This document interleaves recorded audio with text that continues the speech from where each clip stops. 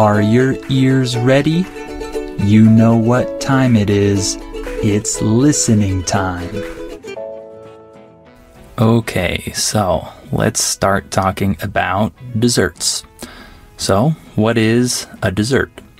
A dessert is some kind of sweet food that you eat after your meal, typically.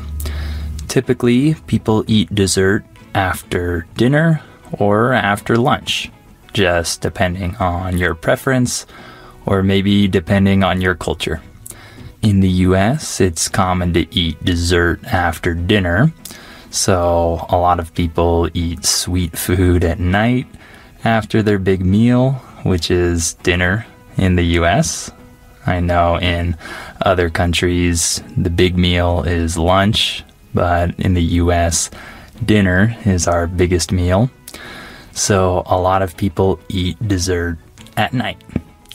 So let's talk about some typical desserts in America. So, one of the first things that comes to mind is pie.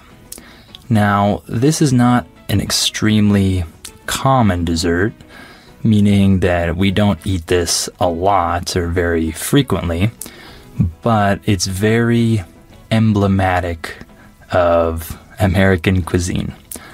When something is emblematic, that means that it is a good representation or a good symbol of something else. So, pie in the US is an emblematic meal or emblematic food of American cuisine. A lot of people think of the US when they think of pie or when they see pie. So, one of the most common types of pie in the US is apple pie. This is perhaps the most popular pie. This pie is delicious. It's probably my favorite type. I think it is my favorite type. And it's a really good dessert to eat on holidays or, in my opinion, at any time throughout the year. It's delicious, really. And there are certain regions of the US or cities or towns that have really good apple pie. For example, one of these places is called Julian in Southern California. This is a town that is really well known for its apple pie. Many people drive an hour or two hours just to go to this town and eat apple pie. So it's very popular there, and they make it in a very delicious way. They make it perfectly there. So I love their apple pie, and whenever I get the chance, I eat their pie either in Julian or if they sell that style of pie at grocery stores in other California cities. It's very good. So, another type of pie that's very popular is pumpkin pie. And this pie is especially popular around the autumn time. So, during the months of October, November, December, maybe, this pie is very common. So during Thanksgiving, pumpkin pie is one of the classic desserts that's served. There are many of uh, many other types of pies too, like key lime pie and Boston cream pie and many other types of pies. But as I said before, for me, apple pie is the king. You can't beat apple pie, in my opinion. So, as I mentioned before, pie is not eaten very frequently in the US. Pie is eaten on special occasions and usually during certain seasons, but it's not usually eaten on an everyday basis in the US. However, there are other types of desserts that are eaten more often, more frequently. For example, cookies. I think that most of you, or all of you, know what cookies are. I'm sure they're popular in almost every country, I imagine, but in the US, cookies are especially popular, and in particular, chocolate chip cookies. So, one of the reasons why this type of cookie is so popular is because people love to bake homemade chocolate chip cookies. When we say the phrase homemade, we're saying that you make it at home. It's not from a store, right? So in the US, it's a very common tradition for families to bake chocolate chip cookies together. Uh, children usually love participating in this process. And when I was a child, I loved this and I loved licking the spoon when my mom was done using it because there was always delicious cookie dough on the spoon that I wanted to eat. The word dough refers to the material, the edible material that is used to make things like cookies or bread, right? This is called dough. So uh, I love the taste of cookie dough. And so chocolate chip cookies are really popular, and especially with milk. So chocolate chocolate chip cookies are very frequently served alongside milk, cookies and milk. This is everyone's favorite combination, mine included. So, cookies are very popular, not just to eat, but also to bake. And then, of course, ice cream. I think that Americans eat a lot of ice cream, but I also think that people in other countries eat a lot of ice cream too.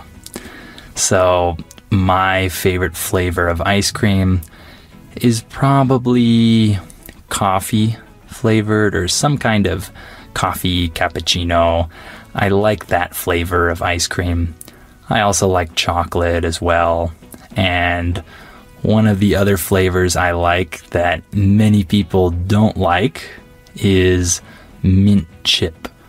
So, mint chip is a flavor of ice cream that looks green because it is mint based, right?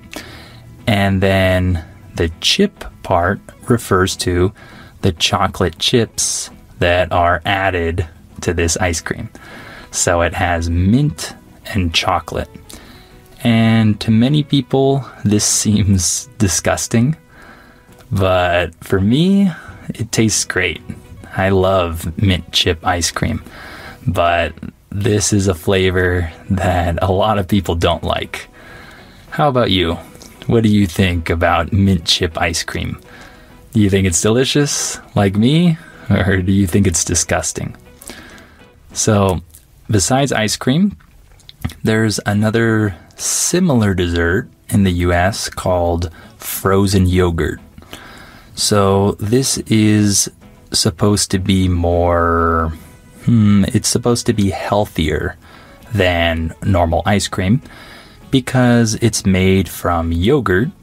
And when people think of yogurt, they think of a healthy snack. When I say the word snack, I'm referring to some kind of food that is usually sweet or salty and you eat it between meals. It's not included in your normal meal, your lunch, or your dinner. So, between lunch and dinner, you might eat a snack like a cookie or a bag of chips or yogurt or something like that. So, frozen yogurt is supposedly more nutritious and healthier than ice cream. I don't know if this is true or not, but everyone says this. So I think that's why this dessert has become very popular throughout the US because people don't want to feel bad about the food they're eating. They want to feel better about themselves. So instead of eating ice cream, they opt for frozen yogurt. when I say the phrase opt for, this just means that they choose this option. So, for example, I could say, I opted for the cheaper option. In this case, I'm saying that I chose the cheaper one. So, besides cookies, pie, ice cream, frozen yogurt, uh, another very common dessert in the US is brownies. I love brownies. This is by far one of my favorite desserts. If someone makes a really good brownie, it might even be my favorite dessert. Maybe. It's at least in the top three if it's really good. So, if you don't know what a brownie is, this is a chocolate type of bread, kind of like a cake, but not really. It's very thick, right? It has a lot of density to it, and it has a very rich chocolate flavor. And people bake this in the oven. So it's baked just like cookies are baked but it's it's different. It's not a cookie. So for me, brownies are one of my favorite desserts for sure. And then of course, cake is another popular type of dessert, but usually just on special occasions like birthdays. That's why we have so many birthday cakes.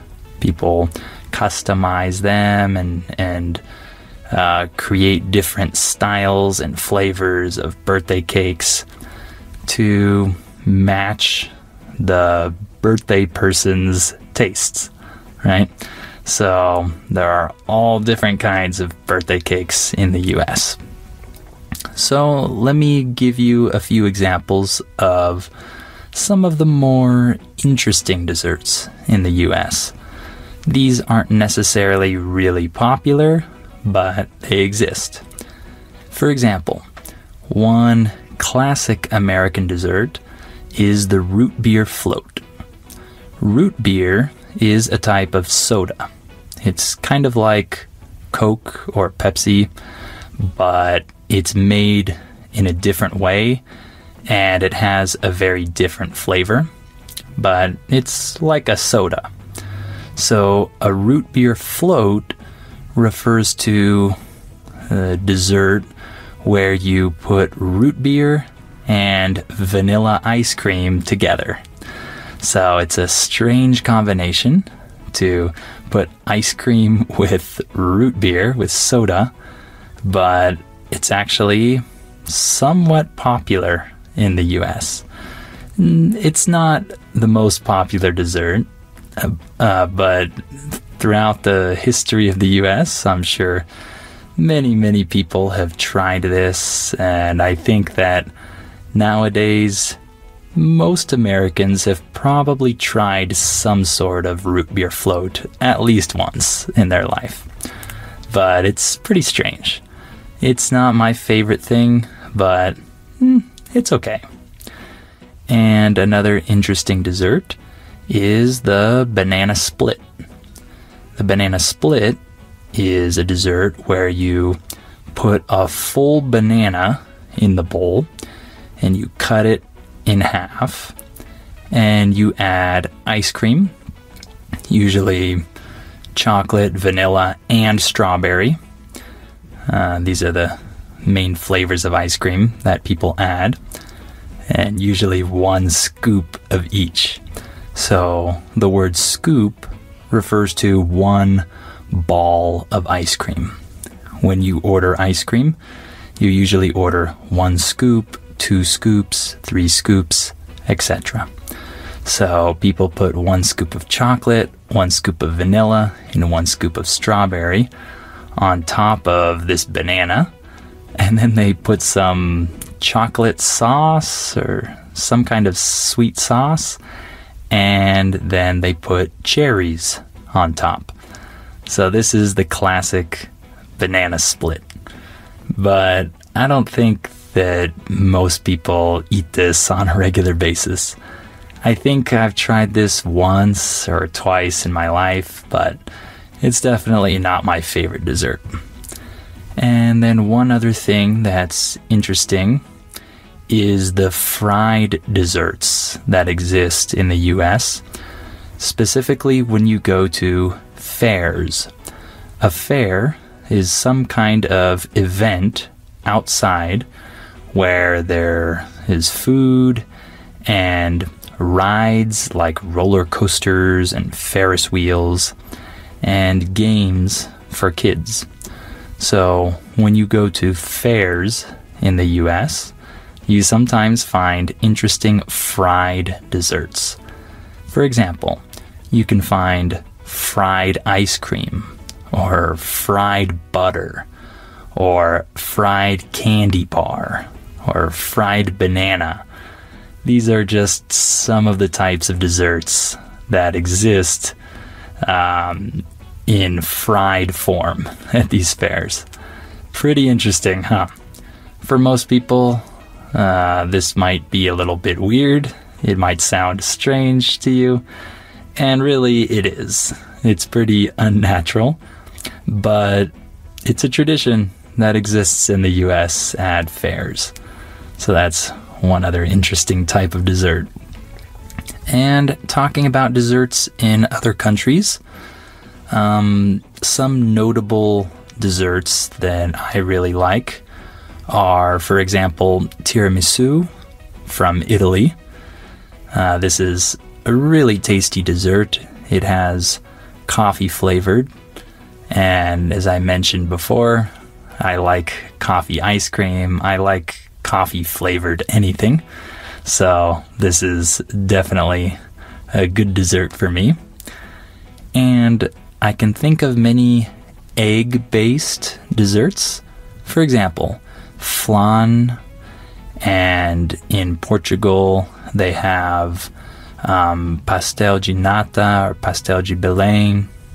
And in Brazil, they have pudim.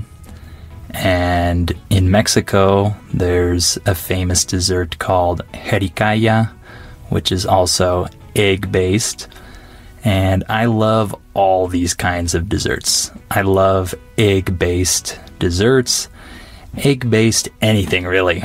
I really like egg. So I like all of those.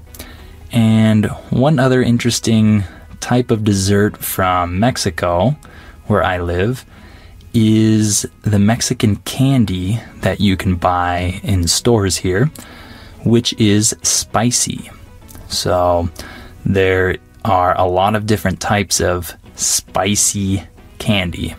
So, first, when you put it in your mouth, it might be spicy and then it becomes sweet afterwards.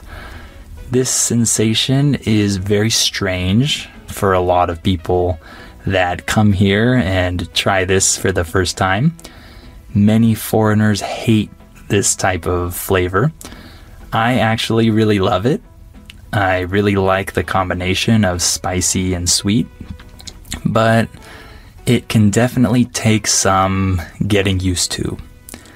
When I say the phrase, it takes some getting used to, this just means that it takes some time for you to become accustomed to this flavor. Okay, so if you come to Mexico, you should definitely try spicy candy, but just be careful because you might not like it at all. So, lastly, about my favorite desserts in the world, I would say that I really like brownies, as I mentioned. Um, I wouldn't say that ice cream is my favorite dessert, but I like ice cream. Um, cookies are also uh, near the top of my list, and definitely a good apple pie. I really like a well made apple pie. So I might put those three things at the top of my dessert list brownies, cookies, specifically chocolate chip, and apple pie. So, a pretty American looking list, I think. But yeah, those are some of my favorite types of dessert. So, we'll stop there for this episode. Hopefully, this was interesting for you, and hopefully, this was good practice for your ears, good practice for your listening. And of course, remember to access the transcript for this episode if you need it. All right, well, thank you for listening, and I hope you'll come back for episode 12 of the Listening Time podcast.